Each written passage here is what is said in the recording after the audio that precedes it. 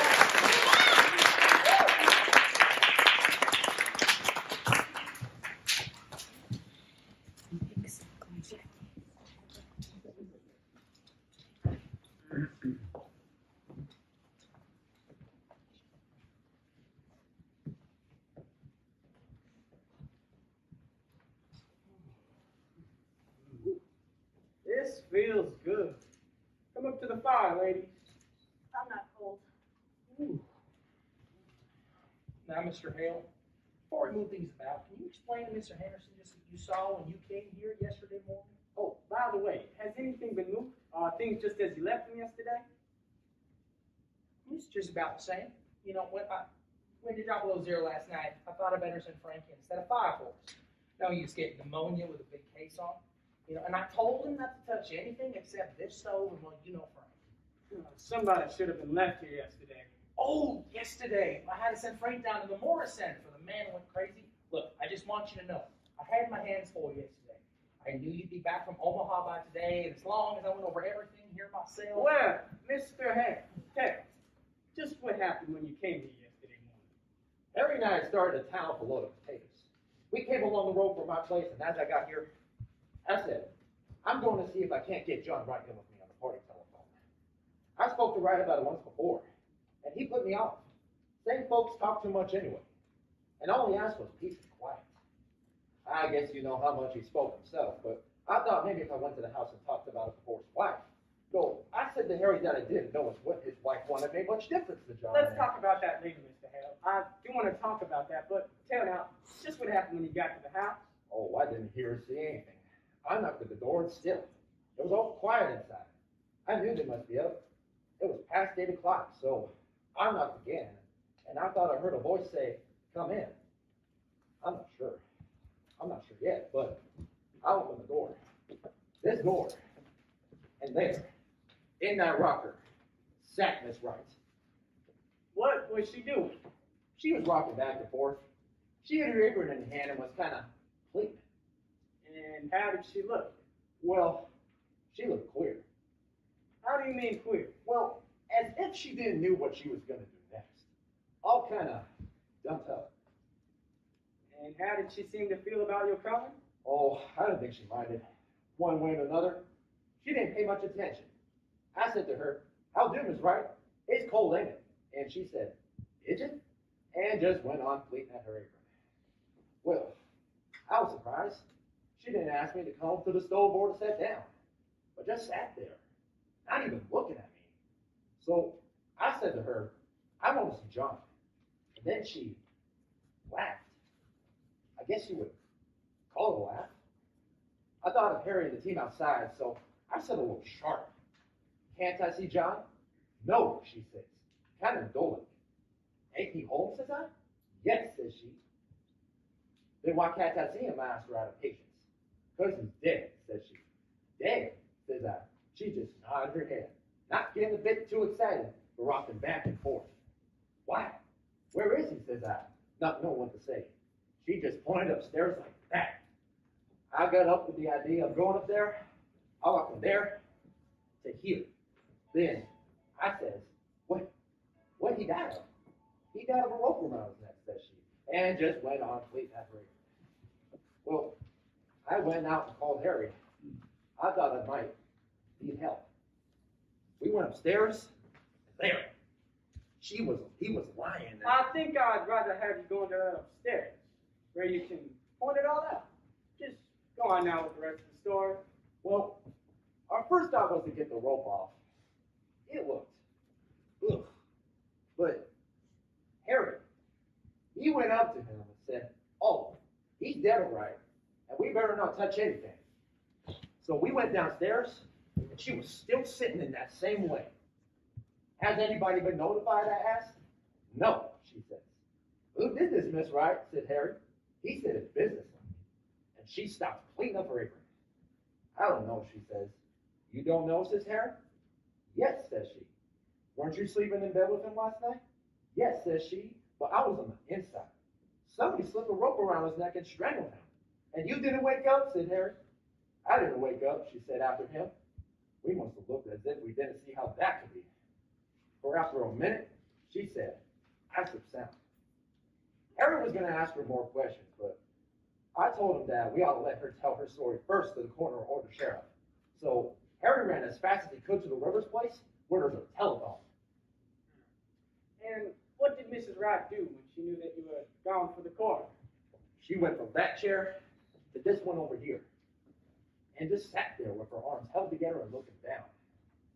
I knew that I ought to make some conversation, so I said to her that John wanted to put in a telephone. And at that, she started to laugh. And then she stopped and looked at me. Scared. I don't know. Maybe it wasn't scared. I wouldn't like to say it was. Soon, Harry got back, and Dr. Lloyd came, and you, Mr. Peters, and so I guess that's all I know that you don't. Uh, guess we'll go upstairs first, then, then out to the barn and around there. Still convinced there was nothing important here, nothing that would point to any motive? Nothing here but kitchen things.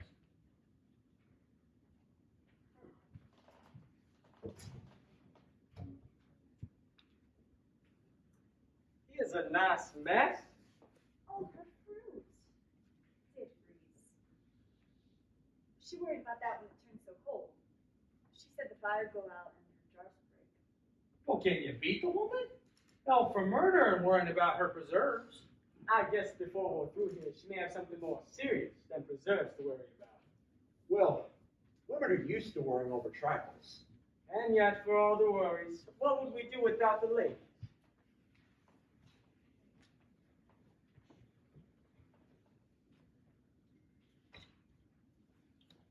Dirty towels? Not much of a housekeeper, would you say, ladies? There's a great deal of work to be done on a farm. To be sure. And yet, I know there are some Dickson County farmhouses which do not have such hand towels. Those towels get dirty awful quick. Men's hands aren't always as clean as they might be. Loyal to your sex, I see. But you and Mrs. Wright were neighbors. I suppose you were friends too. I've not seen much of her of late years. I've not been in this house. It's more than a year. And why was that? You didn't laugh her? I liked her all well enough. Farmers' wives have their hands full, Mr. Henderson, and then Yes. it never seemed a very cheerful place. No, it's not cheerful. I shouldn't say she had the homemaking instinct. Well, I don't know as Wright had either. Huh. You mean that they didn't get on very well? No, I don't mean anything, but I don't think a place be any cheerfuler for John Wright's being in it. I'd like to talk more of that a little later. I want to get her later things upstairs now.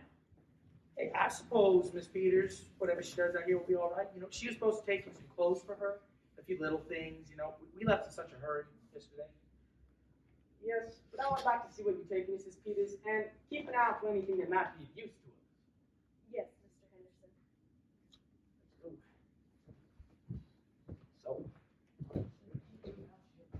I hate to have men coming into my kitchen, snooping around and criticizing. Of course, it's no more than duty. Duty's all right, but I guess that deputy sheriff that came out to make the fire might have gone a little bit on. Wish I'd thought of that sooner. Seems mean to talk about her for not having things slicked up when she'd have come away in such a hurry. She had bread set. Don't put this in there. That's a shame about her fruit. I wonder if it's all gone. Oh, there's some that's here. That's all Mrs. Peters. Yes, here. Oh, I declare I believe it's the only one. She'll feel awful bad after all her hard work in the hot weather. I remember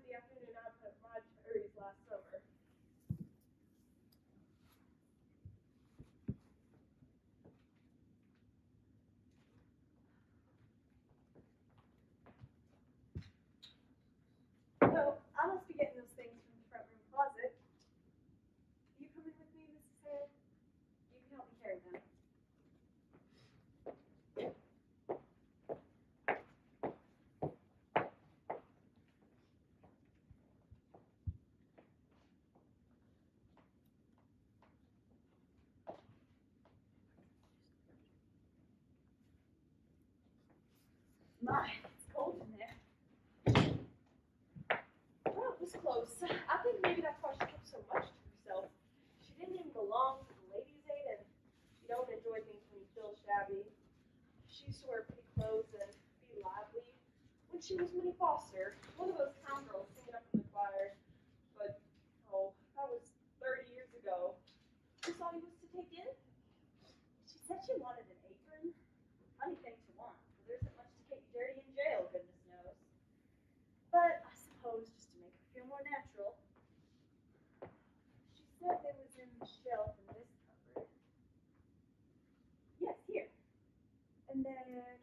show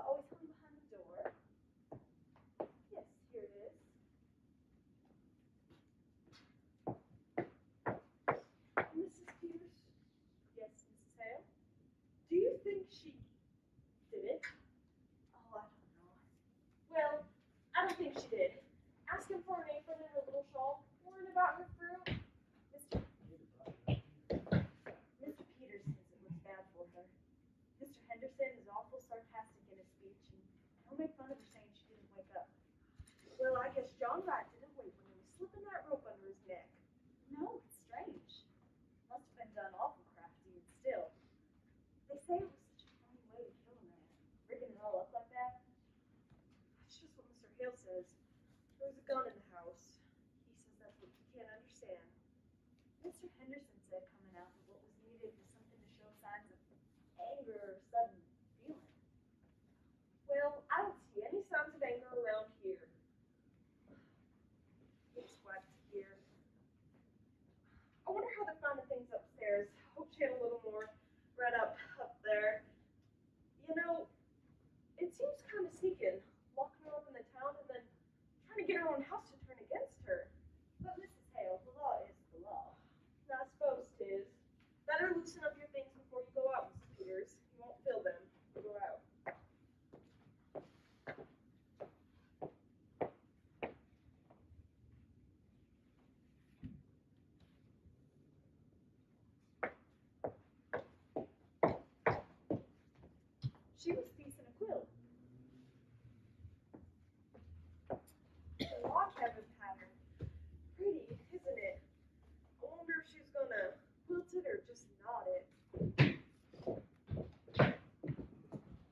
if she was going to quilt it or just not.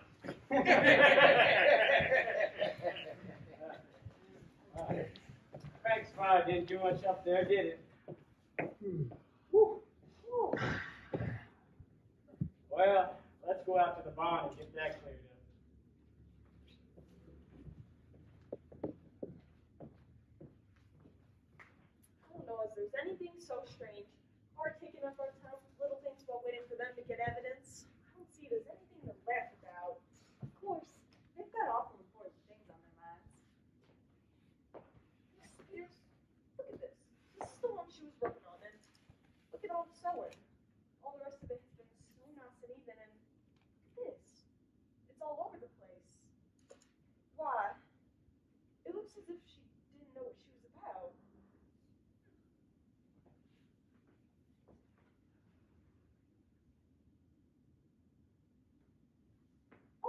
you doing, Mrs. Hale? Just pulling out a stitch or two. That's not so very good. That's don't always make me fidgety. I don't think we ought to touch things. I'll just finish up this end. Mrs. Peters? Yes, Mrs. Hale? What do you suppose she was so nervous about? Oh, I don't know. I don't know if she was nervous. I sometimes so awful queer when I'm I must get these things wrapped up. They may be through sooner than we think. I wonder where I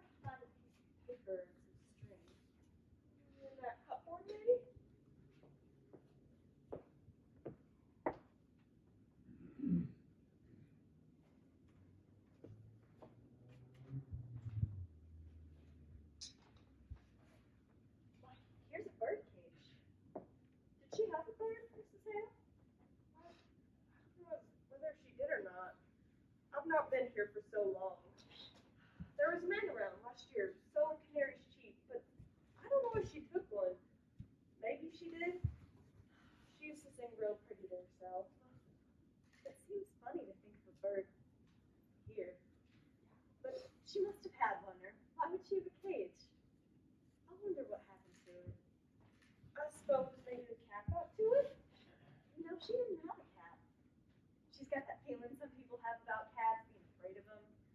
My cat got in her room one time and she got real upset and asked me to take it out. My sister Bessie was like that. Queer, ain't it? Well, look at this door. It's broke. One hinge is pulled apart. Looks as if someone must have been rough with it. I wish they're gonna find any evidence they'd be about it. I like this place. But I'm awful glad you came with me, Mrs. Hale. It would be lonesome for me, standing here alone. It would, wouldn't it? But I'll tell you what I do wish, Mrs. Peters. I wish I'd come over when she was here sometimes. I wish I had. Of course, you were awful busy with your house and your children. I could have come. I stayed away because it weren't cheerful, and that's why I ought to have come. Liked this place. Maybe because it's down in a hollow and you don't see the end of the road. I don't know what it is, but it's a lonesome place and always was. I wish I'd come over to see Minnie Foster sometimes. I can see now. Well, you mustn't reproach yourself, Mrs. Hale. Somehow we just don't see how it is with other people until something comes up. Not having children makes less work, but it makes a quiet house, and with Wright out to work all day and no company when he did come in. Did you know John Mrs. Peters? Not to know him. I've seen him in town. They say he was a good man. Yes, good. He didn't drink and he kept his word as well as most, I guess. And he paid his debts. But he was a hard man, Mrs. Peters. Just to pass the time of day with him, like the raw that gets the bone. I should think she would have wanted a bird, but would you suppose went with it? I don't know, unless it got sick and died. You weren't raised around here, were you? You didn't know her. Not till they brought her in yesterday. She, come to think of it, she was kind of like a bird herself. Real sweet and pretty, but kind of timid and fluttery. How she did change. Tell you what, Mrs. Peters, why don't you take the quilt in with you? It might take up her mind. I think that's a real nice idea, Mrs. Hale. There couldn't possibly be any objection to it, could there? Now, just what would I take? I wonder if this has her patches in it and things. Oh, here's some red. I expect you got her sewing things in it. Oh, what a pretty box.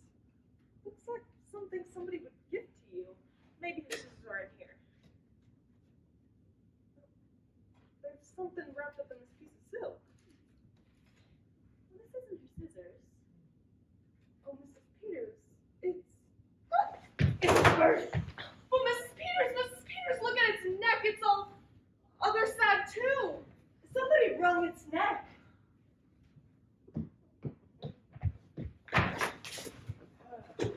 Well, ladies, have you decided whether she was gonna quilt it or knot it? We think she was going to knot it, Mr. Henderson. Well, that's interesting, I'm sure. Has the bird flown? Uh, we think the cat got to it. Is there a cat? Well, not anymore. They're superstitious, you know. They leave. No sign at all of anyone having come from outside. Their own road. Now, let's go up again and go over it piece by piece. Would have been someone who knew just as they are. She liked the bird. She was gonna bury it in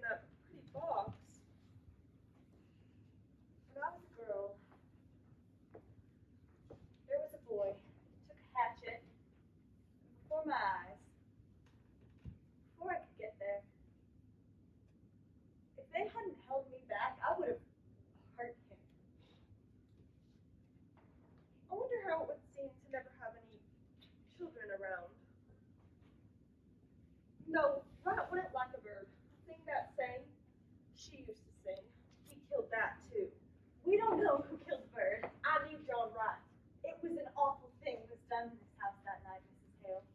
Killing a man while he slept. Slipping a rope around his neck that choked the life out of him. His neck choked the life out of his. We don't know who killed him. We don't know. There've been years and years of nothing than a bird to sing to you. Still, after the bird was still, I know what stillness we homesteaded in Dakota, my first baby died. Right after he was two years old, and me with no husband. how soon do you suppose they'll be through looking for the evidence? I know what stillness is. The law has got to punish crime, Mrs. Hale. I wish you'd seen Minnie Foster when she stood up there in the choir and sang in her Oh, I wish I'd come over to see Minnie Foster sometimes. That was a crime. That was a crime. Who was gonna punish that? We mustn't take on. I'm not a known she needed help. I know how things can be for women, Mrs. Peters. I tell you, it's weird. We live close together and we live far apart. We all go through the same thing. It's just a different type of the same thing. If I were you, I wouldn't tell her the fruit was gone. Tell her it ain't. Tell her it's all right. Take this in and prove it to her. She may never know whether it was broke or not.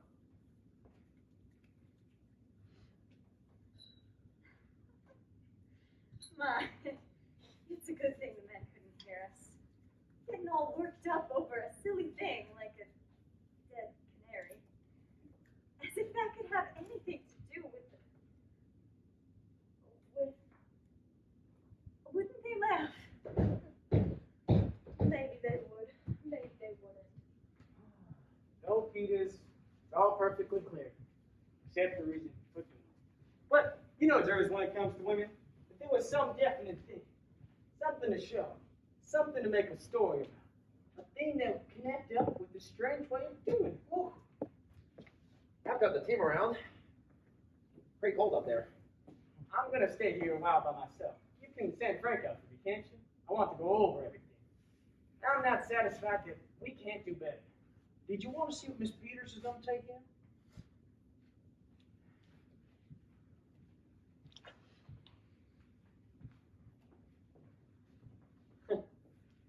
Oh, I guess they're not very dangerous things the ladies have picked out. No, Mrs. Peters doesn't need supervising. For that matter, the sheriff's wife is married to the law. Ever think of it that way, Mrs. Peters? Not just that way. Married to the law. Uh, Hey, can you come here for a minute, George? We ought to take a look at these windows. oh, window. We'll be right out, Mr. Hale.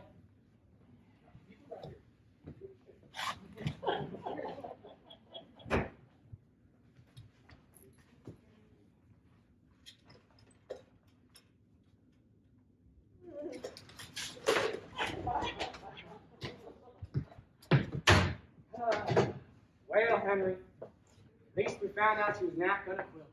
She was gone to, what do you call it, ladies? Oh, we call it knotted.